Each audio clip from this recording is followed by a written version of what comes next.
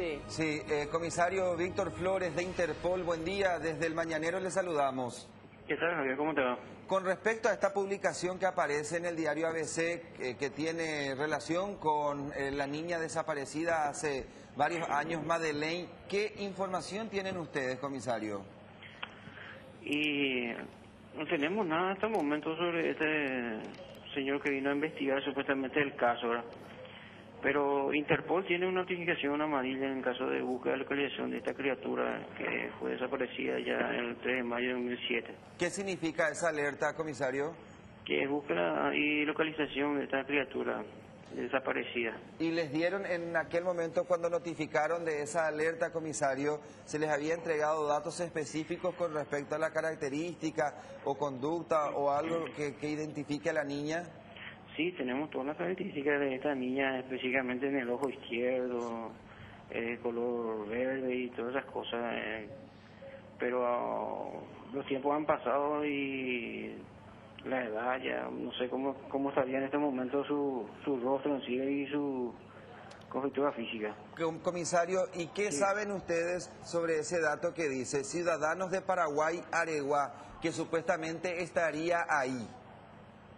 La verdad no sé nada personalmente te voy a decir eso de no, ahora personales de, de la Policía Nacional estaba viendo, cotejando datos, descartando informaciones y todas esas cosas, pero de Ahora- parte de Interpol no tenemos ninguna información de que esta persona vino a hacer una investigación aquí.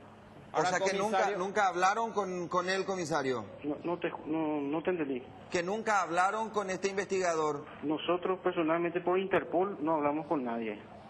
Ahora, comisario, eh, independientemente de que ustedes hayan tenido o no comunicación, ya es de público conocimiento porque es un espacio reservado en un periódico, casi un cuarto de página, Sí. y se dan todos los datos. ¿Ustedes van a intervenir o, o- o tienen que esperar una instrucción para intervenir en este caso?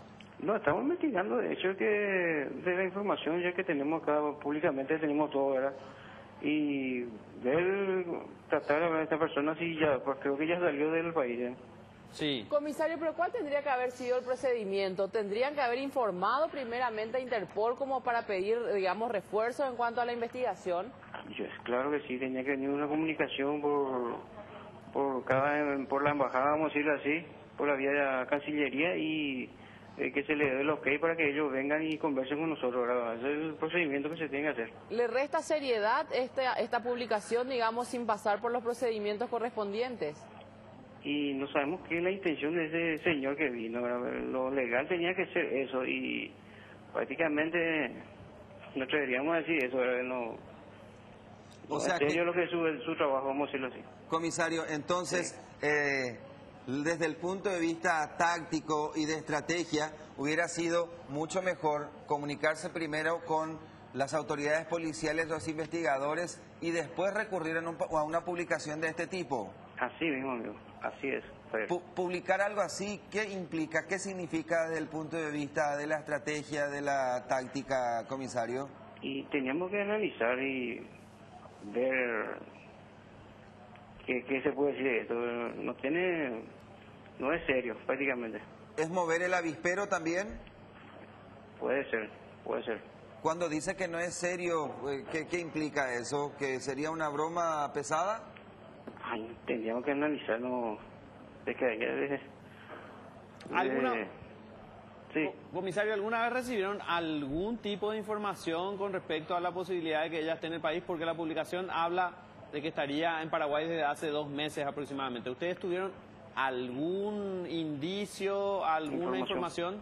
no, no tenemos información, pero de hecho que eh, cuando se hace en el sistema en los países miembros, eh, Paraguay tal como es, tiene su Interpol acá, eh, recibimos el mensaje de la desaparición de esta criatura, pero hasta ahí nomás no, eh, de que entró al Paraguay y todas esas cosas no, no, no tenemos físicamente. Esa alerta amarilla de la que habla, comisario, ¿hace cuánto está vigente? Desde el 7 de mayo de 2012. 7 de mayo de Sí, 2012. eh, lo que pasa es que ahí se renueva. Cinco años dura la, cada notificación amarilla y el 7 de mayo de 2012 fue una, nuevamente publicada. Pero- Pero, de- del hecho en sí, que es 3 de mayo, ahí se, se recibió la primera notificación. ¿Cuándo Luego fueron- fue renovada en el 7 de mayo de 2012. Cuando ustedes fueron notificados, comisario, ¿solamente fue para dar con el paradero de esta niña o también acompañaba, por ejemplo, eh, eventual características de otras personas? No solamente sobre la criatura tenemos información de quiénes le trajeron, todas esas cosas, eh, ya con el procedimiento en sí se va a ver si es que quiénes son, ¿verdad? pero de la criatura solamente se tiene la característica de la criatura.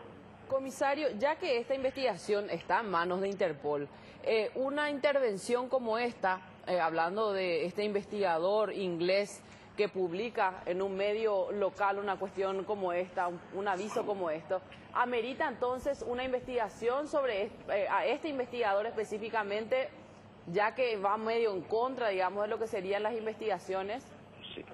Eh, nosotros como Interpol vamos a pedir toda la información sobre este investigador y por qué su actuar de esa manera. En, eh, no sabemos si es inglés o todas esas cosas. Entonces enviamos nosotros al país, los países miembros si tienen habilitado en qué función trabaja, cuál es su organización, todas esas cosas, para luego opinar sobre esta persona.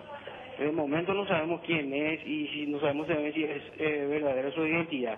Nosotros como Interpol estamos investigando a esta persona el porqué de esta publicación, por qué no se acercó a un, componente de la Policía Nacional o en todo caso por qué no, envió por los canales diplomáticos que esta persona iba a venir a reunirse acá con alguien o, iba a hacer tal cosa.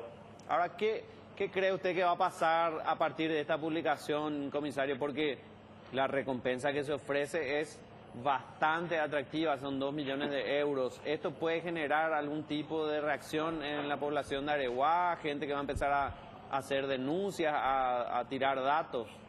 Y como te digo, nosotros vamos a investigar a ver el grado de veracidad de esto, si es eh, la recompensa, todas esas cosas, y esta persona por qué hizo esas cosas. No, no te puedo decir que es estúpido lo que pasó ni nada por el estilo, pero eh, hay que ver, hay que analizar de todo punto de vista, ¿verdad? Y, y quitar nuestras conclusiones nosotros como uniformados y del por qué hizo esto. ¿Ustedes eh, pedirían eventualmente algún tipo de dato, información al medio de comunicación que procedió a, a publicar esto, lógicamente como espacio Sí. reservado? Y vamos a ver si es que puede colaborar con nosotros, pero de hecho que nosotros ya vamos a pedir a los 190 países miembros para ver eh, el estado de este sujeto. Bien, comisario, estamos atentos a lo que se pueda generar en forma paralela eh, desde el punto de vista de la investigación de Paraguay también. Eh, si bien usted puso en duda, tratando de poco seria lógicamente la publicación, también es un desafío para el sistema de investigación paraguayo para eh, contribuir, colaborar o, colaborar o cooperar si eventualmente esta, esta niña está en territorio paraguayo. Así vino. Sí, Que sí. tenga buen día, comisario. Dale igualmente, sí. Víctor Flores, director de Interpol Paraguay. Ahora, vayamos al otro extremo. Suponiendo que sea real que la niña esté en nuestro país, deja muy, dejaría muy mal parada a la policía paraguaya y a Interpol Paraguay, si es que es real el dato, en el sentido de decir, ¿cómo puede un investigador privado tener todos estos datos, saber que está hace dos meses en Paraguay, hacer una publicación así, no recurrir a Interpol ni a la policía? ¿Por qué no recurrir a Interpol o a la policía? Porque Entonces- prefieren eh, actuar de manera independiente. Pero también en forma eh, paralela eh, hay que poner también, eh, no en dudas, sino en contexto el hecho de que ¿por qué recurrir a una publicación? No porque no confíen en las autoridades paraguayas, sino cuál es el fin en realidad. Por eso am- ambas partes, digamos, están bastante... ¿Cuál es el trasfondo de, la, de- hacer una publicación? Dos millones de, dol- de euros, mucha plata. Yo me voy a Areguá. Por la duda. Es que- Termina el programa y me voy a Areguá. Y no a comprar cántaros. ¿no? Hay que tener en cuenta también el, el sistema en el que trabajan estos investigadores, que son cazadores de fortuna, eh, en donde ellos también tienen un monto por encontrar a una persona desaparecida, a una persona paralela a la buscada. recompensa. Claro, no, sin la ayuda de la policía, porque si lo encuentra la policía, finalmente quienes se llevarán el mérito de la investigación son los efectivos policiales y este investigador privado no va a cobrar sobre el resultado.